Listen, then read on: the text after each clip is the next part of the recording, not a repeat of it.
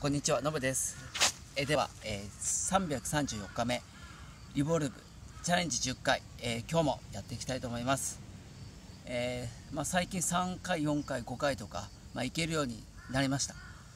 で、あとは体力次第ですね。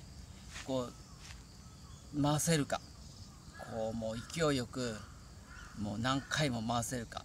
120%の力で回すことができるかっていうところですね。あとは上半身がやっぱりどうしても後ろに下がっていっちゃうっていうのが、えー課題です。というところでまあとにかくやっていきたいと思います。では行きます。